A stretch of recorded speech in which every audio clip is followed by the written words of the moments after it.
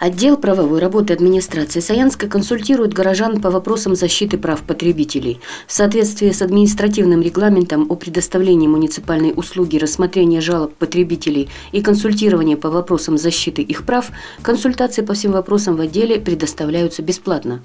За период 2014 года было зарегистрировано 100, 143 обращения от граждан. В основном они э, касались нарушений в сфере торговли, в частности торговли технически сложными товарами, то есть это сотовые телефоны, холодильники, стиральные машины и планшеты. Плановый контроль за качеством любого товара осуществляет федеральный орган, территориальный отдел Роспотребнадзора, офис которого находится в городе Зиме. Поступающая устная информация о каких-либо нарушениях прав покупателей принимается к сведению, но официально подлежит рассмотрению только письменная жалоба, письменное обращение граждан. Товарная экспертиза проводится торгово-промышленной палатой Восточной Сибири. По поводу экспертизы в отдел обращаются горожане, которые приобрели товар ненадлежащего качества. При приобретении товара такого качества, особенно технически сложного товара, что необходимо э, обращаться непосредственно при возникновении недостатка к продавцу с письменным заявлением а, о, э, с требованием о либо расторжении договора купли-продажи а, в связи с тем, что недостаток возник в течение 15 дней после покупки, то есть это право потребителя. Срок 14 дней установлен только для товаров надлежащего качества, которые, однако, не подошли вам по фасону, по размеру, словом, просто не понравились.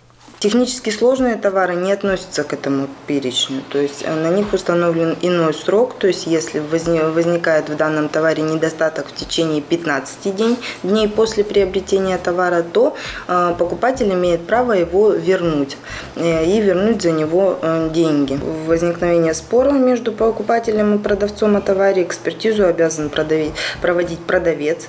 Экспертизу оплачивает тот, кто не прав. Если предприниматель продал некачественные товары, экспертиза установила этот факт, а, то оплачивать экспертизу будет продавец. В случае, если товар был неправильно эксплуатирован потребителем, то экспертизу оплачивает потребитель. Недавно был такой случай, у нас обратилась женщина, которая приобрела товар, а, часы в одном из магазинов нашего города. И, к сожалению, ей не был выдан ни гарантийный талон, ни чек, ни товарный чек на этот товар. И в этом товаре возникли недостатки. То есть женщина пенсионного возраста, то есть для нее это большие затраты были. Она обратилась в магазин, изначально а, продавец отказался принимать товар, говорили о том, что она не приобретала данный товар в этом магазине. Но в итоге как бы мы написали претензию, помогли составить жалобу в Роспотребнадзор.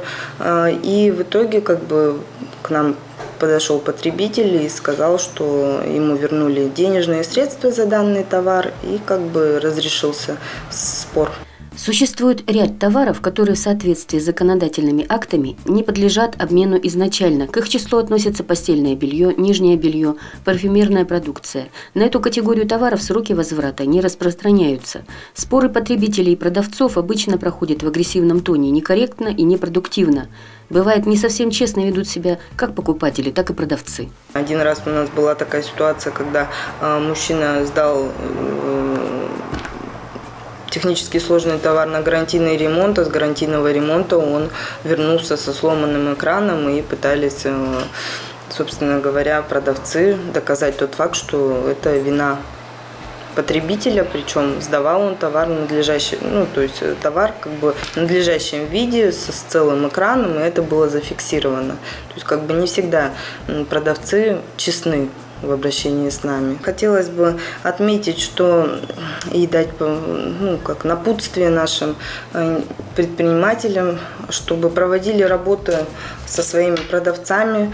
Э, зачастую продавцы не, не знают законов, э, очень конфликтно конфликтные ситуации зачастую возникают из-за этого, то есть как бы продавцы нацелены на продажу товара, возврат практически невозможен без какого-то без претензионного разбирательства.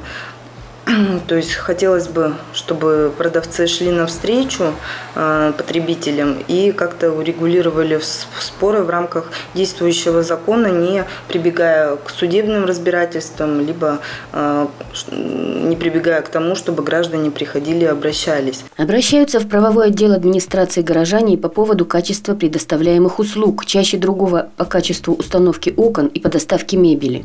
Бывают так, такие ситуации складываются, когда э, мебель не удокомплектована, и комплектацию очень сложно э, добиться от предпринимателя. Если вы затеяли в квартире ремонт, срок его может изрядно затянуться. Окажись продавец недостаточно добросовестным. К примеру, доставит плитку, двери, ламинат или паркет не через неделю, как было оговорено, а через 2-3. Законом о защите прав потребителей предусмотрено, что за нарушение сроков оказания услуг, а, за перенос сроков, если это было э, без согласования, то есть э, потребитель имеет право на неустойку в размере 3% от стоимости работ. То есть как бы э, значительная сумма, то есть если э, работы были в смете выделены отдельно, то от этой суммы. Если же не были выделены отдельно работы, то от общей стоимости договора. В июле этого года в закон о защите прав потребителей были внесены изменения. В статью 24 добавлен новый пункт. Горожане сегодня чаще всего осуществляют масштабные покупки по потребительскому кредиту, и не всегда в этой процедуре потребитель был защищен законом. На данный момент в случае приобретения товара а, по потребительскому кредиту, то есть это то кредитование, которое вы оформляете не в банке, а, не в магазине на товар, а уже берете кредит в банке на приобретение такого товара, и в случае возникновения в нем недостатка, продавец обязан вам возместить убытки, возникшие в результате в результате приобретения данного товара. Кстати, жалоб в отдел по поводу кредитов становится все больше. Кредитные организации зачастую вводят в заблуждение клиентов, не всегда предоставляют полную информацию об условиях кредитования, вынуждают оформлять страховку. Но страхование – дело добровольное. Если заемщик не желает страховаться, то по закону вполне может отказаться от этой услуги. Недавно, допустим, тоже был случай, э, молодой человек оформил кредит на необходимая сумма была одна, но в связи с тем, что страховку, э, он тоже написал заявление о присоединении его к программе страхования, сумма основного долга вошла в страховая сумма, точнее, необходимая для уплаты единовременной, вошла в сумму основного долга. И, соответственно, проценты были насчитаны на более на большую сумму. Закон о защите прав потребителей постоянно дополняется и совершенствуется. С развитием торговли и сферы услуг отношения покупателя и продавца становятся все более сложными и разнообразными. Главная проблема потребителей в том, что они не знают своих прав, не привыкли обращаться с жалобами по их защите. Однако, если потребитель будет знать свои права, каждый продавец товаров или услуг будет осознавать свою ответственность. К слову, книгу «Закон о защите прав потребителей» можно приобрести в книжном магазине. Закон можно найти в интернете. Но в любом любом случае за помощью есть возможность обратиться в правовой отдел городской администрации. Мы всегда, отдел правовой работы, готов помочь в любой создавшейся ситуации, то есть граждане могут обращаться в рабочее время мы составим претензию исковую, дадим просто устную консультацию, поможем составить заявление э, в случае необходимости. И каждую ситуацию будем рассматривать э, индивидуально. В отделе правовой работы ведется прием в рабочие дни с 8 до 17 часов. Телефон для справок 566 41.